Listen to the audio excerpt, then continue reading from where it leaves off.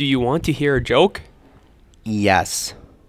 Why can't you have a nose 12 inches long? I don't know. Why? Because then it would be a foot. okay, your turn.